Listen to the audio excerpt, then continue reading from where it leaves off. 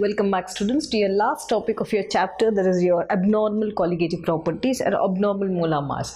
So in your NCERT textbook it's given as the heading is given as abnormal molecular mass or molar mass. So everything both are same. Let's come back and see. So we have studied already four types of colligative properties that is your uh, relative lowering of vapor pressure, elevation in boiling point, depression in freezing point as well as osmotic pressure.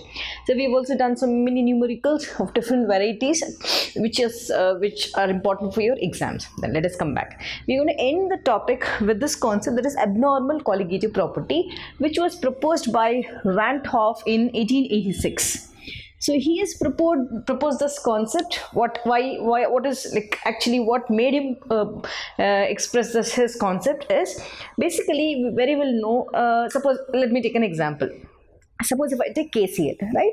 Now, KCl when I uh, dissolve it in aqueous solution, then KCl will very you know ionic compound it dissociates into K plus plus Cl minus. Done. Suppose if I take barium chloride or magnesium chloride, calcium chloride, anything, this dissociates into Ba plus 2 plus 2Cl minus. Plus and minus gets okay gets cancelled and total uh, this charge is zero done. Suppose if I take magnesium chloride, as I said, magnesium chloride, again the same story, Mg plus 2 plus 2Cl minus. Now, what is happening here? This, these particular uh, uh, ionic compounds, when they dissociate, they're going to dissociate. This is one uh, one cation and one anion. Yes. So he said, whenever such compounds are dissociating, he has given a, a unit that is Van't Hoff's factor, which is denoted by I. I'll explain what is I also. So he said I, the degree of association or degree of dissociation alpha, which I'll, okay, as of now remember, he said I factor for this, only for now remember like this, I factor for this, that is the number of ions dissociating, which is equal to here in this case how many? 2. Here how many? 1 plus 2, I factor is equal to 3. Here also I factor is equal to 3 done so he said this is the case now suppose if i take examples like benzoic acid C6H5COOH. If I take an example of acetic acid, let's see what is going to happen. When I uh, uh, dissolve it in aqueous solution, benzoic acid, how does it dissociate or uh, just see, this becomes C6H5, yeah, C, one side double bond O, one side single bond. And you also have H this is going to form a hydrogen bonding here and this is also going to form a hydrogen bonding here right? Now suppose if i take h o here and start with here this whole thing will come above. That's it. Simple. Yeah? This oh is here oh is here. Now c6 okay let us write this first. Now let's see. Now double bond O here, double bond O here. Now see here, C6H5, C6H5. I wrote one, uh, this one carbon also here. I have to write here also carbon. Okay.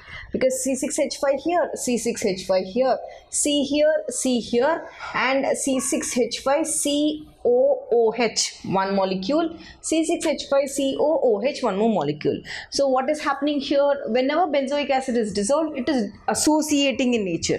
So he said I value for this concept. Here I value is 2 here also I value is 3 here I value is 3 but here in this case I value was found to be 0.5 only. Let's come back and see this example. Acetic acid, CH3 on this side, CH3 on this side. C on this side, C on this side. Done. double bond O on this side, double bond O on this side. OH on this side which is forming a hydrogen bonding. OH on this side which is again forming an hydrogen bonding. Here again for this this is your hydrogen bonding this is your hydrogen bonding i value calculated was 0.5 now are you not finding abnormality in the uh, this in uh, molecular uh, this in uh, i factor?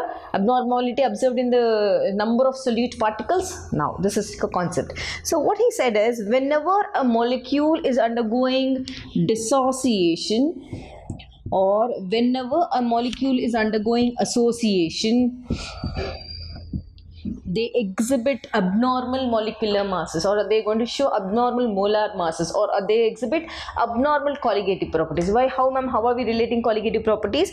We said colligative properties are dependent on what? Dependent on number of solute particles. Number of solute particles isn't it? Yes. Now what is this number of solute particles here? Here solute particles have become like they have become from one it has become two. Double. Here what happened? The number of solute particles from 1 it has become 0.5 isn't it? Yeah. So it has become half half of it. Done? So basically your colligative property depends upon number of solute particles. So the variations due to association and dissociation makes it also change. Yes that is why we call abnormal colligative property. So always remember we are going to multiply a factor of i with colligative properties which i'll be discussing very soon. So remember one important thing. Because of dissociation and because of association they're going to exhibit abnormal colligative property. Yes, done. Now I know this concept. Now I have to now further go and show what and calculate what is this uh, I in the particular formula. What is alpha? Let us start calculating. Let us take out the examples and now start calculating Van 't Hoff's factor. How to calculate Van 't Hoff's factor? Now I said association and dissociation, isn't it? Now let us take that example. Now first let us divide the board into half. For the first one, I'm going to uh, pick up dissociation concept. Uh, a dissociation, for example, I already, okay, let us take KCl here. Here I'm going to pick up association concept. What did I do? I picked up acetic acid or benzoic acid. Okay, wherever hydrogen bonding is formed. Done. Let's start. Initially, instead of K and Cl, let me take total as A this dissociates into B. Let us assume. As of now, I'm just assuming A and B. Initially, when time is equal to 0, the initial concentration of A was 1 mole. At that particular initial concentration, B was 0. Yes, now as as time is equal to t now the reaction started proceeding forward time is equal to t seconds now what will happen to the concentration? Okay. Now this particular concentration of B, I am introducing a term called alpha. What is alpha? Alpha is degree of uh, dissociation. I'm uh, instead of writing how much has this uh, dissociated, I am picking up a constant as alpha. That is degree of dissociation. Now, suppose if I say A has converted to B with some moles as I showed you, na, barium chloride, Ba plus 2 plus 2 Cl minus. So that N you're going to write here. Done. Let's come back and see. Now when this is N into alpha, number of moles and amount dissociated, when I come back to A concentration, it is nothing but 1 minus alpha. Why? A part of it less than that because this is decreased, isn't it? Mole A has decreased to B.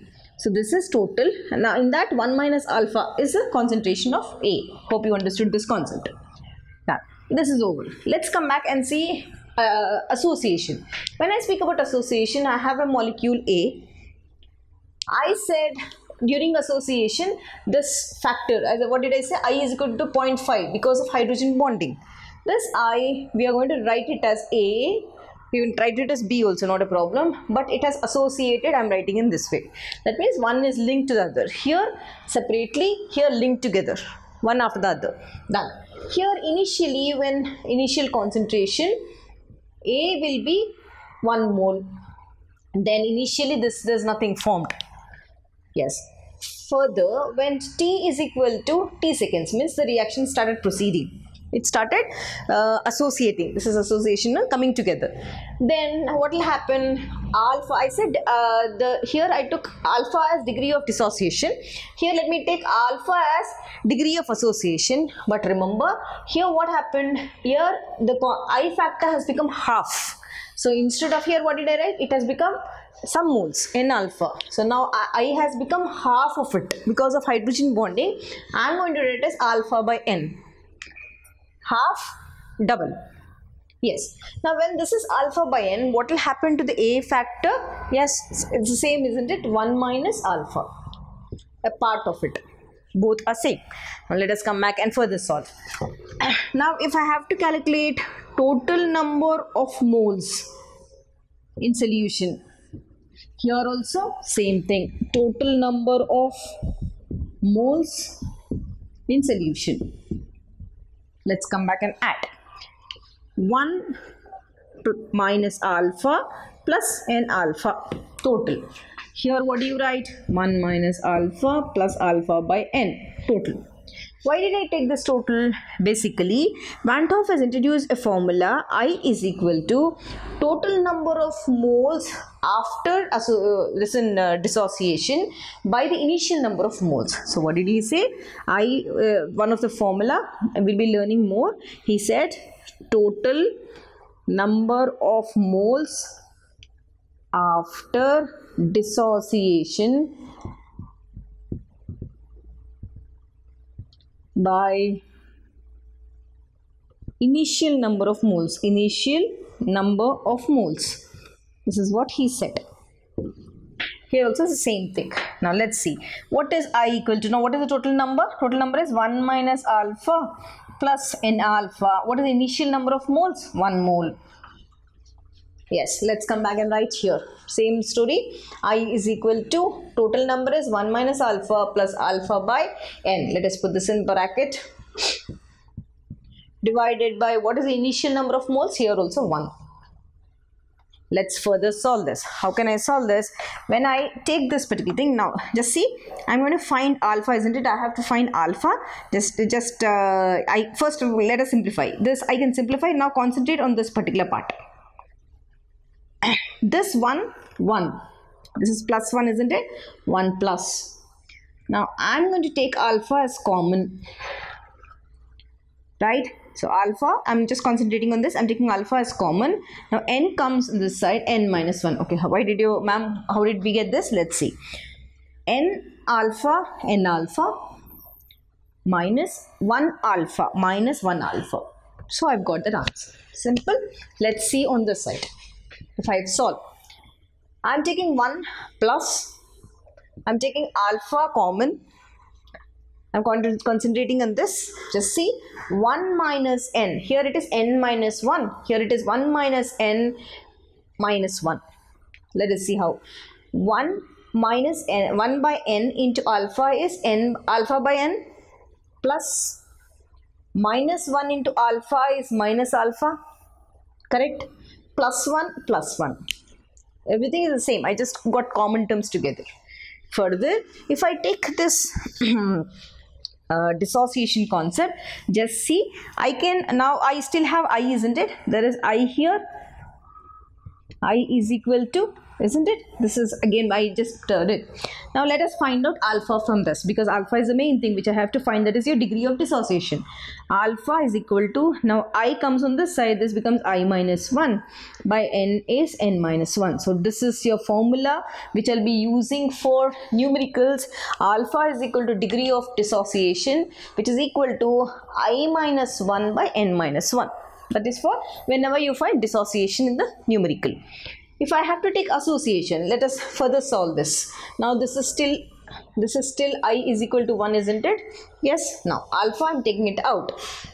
This comes here on this this becomes i minus 1 now this whole thing let us take it down. N minus 1 if i further take lcm what will come to? I minus 1 is here right? Now let us take lcm how does this is here n n1 so 1 minus this is again 1 1 n 1 so 1 n's are and this is n I can further write this as alpha is equal to i minus 1 by 1 minus n into this goes to the numerator n. So this is your formula for degree of association. So remember two formulas degree of dissociation and degree of association. I'll write them both here. Please check. For dissociation the formula is i alpha is equal to i minus 1 by n minus 1 uh, for association alpha is equal to i minus 1 by just see 1 minus n into n these are the two formulas. So let us come back and learn Van 't Hoff's factor significance. So we've already seen why are we studying abnormal colligative properties based on your Van 't Hoff's factor. Let us come back and see in the exam if they ask you what direct question. Suppose what is Van 't Hoff's factor and explain its significance. So this is how we are going to write your answer. Let's see. So very well know I Van 't Hoff's factor is denoted by I Correct? Yes. Now remember important thing. There are three conditions. What are the three conditions? If I is equal to 0, that means the solute has not affected. There is no change in the solute, nothing, no association or no dissociation, no change in solute concentration. Solute concentration, nothing. Done? Yes. Now if i value is less than 1 as we have seen in acetic acid or benzoic acid where it has i value equal to 0.5 so if it is less than 1 that means what has happened? It has got associated association occurs done. If it is greater than 1 where i've shown for kcl and barium chloride zinc chloride all these if it is greater than 1 i call that particular value or calculate that particular value dissociation. That means i factor can be used if the value seeing the value i can signify that the reaction has changed or not or i can give signify that the reaction is undergoing association or not i can signify whether the reaction is undergoing dissociation or not. So that's the first significance very important. Then one more thing for calculating I or I can be used or we have three important formulas. The first formula I is equal to total number of moles after dissociation. And the full thing? After dissociation divided by initial number of moles. We'll be using this in the numerical also initial number of moles. This is one formula the second formula is I is equal to, we call it as M cal by M observed. What is that? M cal by M observed. What is M? M is nothing but calculated molecular mass divided by observed molecular mass observed molecular mass this is one more formula and one more formula where I where we represent I as. Now we are studying colligative property abnormal colligative properties isn't it? Now just see. Observed magnitude of colligative property divided by normal what is magnitude? Nothing, the value isn't it? Normal magnitude you can also you can also write as value. Normal magnitude of the same property. Whichever property you're studying yes. So using this concept yeah we said every time whenever a molecule associates or dissociates we are finding some change in the colligative property because colligative property are dependent upon number of solute particles. So now to get or to obtain exact molecular mass to obtain exact molecular masses what do they do? We are going to rectify those by multiplying the factor of i with the colligative properties. Then you are rectifying you will get the correct exact molecular mass and you can study the colligative properties. So initially to, to obtain it then what do we do? Now we are trying to rectify pick up the first colligative property that is p naught s minus ps that is p naught s. That is your uh, vapor pressure of the pure solvent and vapor pressure of the solution which is proportional to which is equal to molecular uh, the mole fraction of the solute isn't it? This is RLVP so we are going to multiply a factor of I to this. Done. You have now you will get the correct molecular mass. Second property delta TB elevation in boiling point which is equal to ebullioscopic constant into molality. We have studied this. Multiply the factor of I to this. In the third one delta TF freezing point. KF into M cryoscopic constant in molality. Multiply a factor i to this. Now you will get the correct mass.